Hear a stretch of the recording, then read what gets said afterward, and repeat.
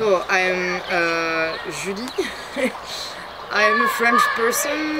Uh, I I was a woodworker before, but uh, since I'm traveling, I decided to start um, doing life as a painter.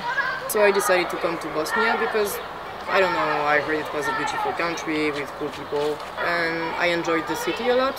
I didn't expect it much because the image of uh, Sarajevo we have uh, in France, it's like the city is destroyed by the war and it's a dangerous place, don't go there, why do you want to go to Sarajevo? And when I arrived, I really enjoyed it because, I don't know, the city is beautiful, first the architecture is awesome.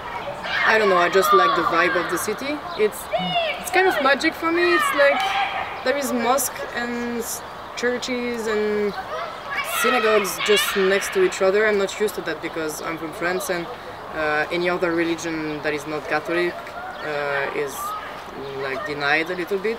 So I'm not used to that much uh, good vibe between different religions and that's also why I, I like that Bosnia that much because people are just practicing their own religion and they don't really care about what the neighbor is doing.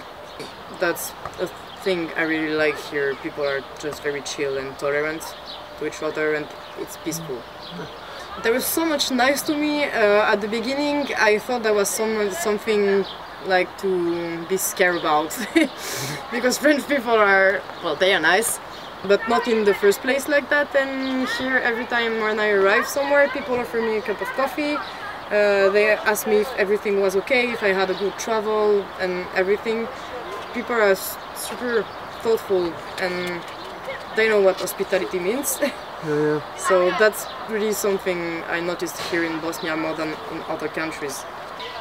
So when I arrived here uh, I, and I wanted to paint, some old lady was starting to talk to me in Bosnian and I don't understand shit to Bosnian uh, except Ja volim which is the only thing I know.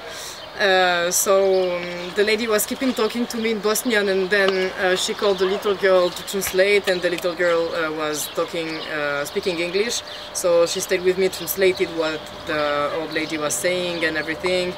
And finally she stayed with me all afternoon because she was just happy to speak to someone that is not Bosnian and to practice her English. She helped me find some materials for painting with the other people from the neighborhood and it was just nice to paint with a little Bosnian girl next to me.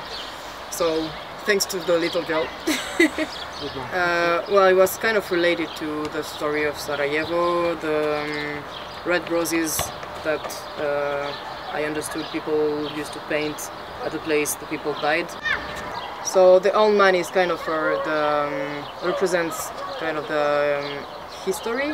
It's kind of a symbol for the um, thing that happened 23 years ago, even before that, and the fact that he's seeing um, like the roses are reflecting. It's what what he can remember and you know that kind of the past. The past, yeah. It's like the reflect of the past.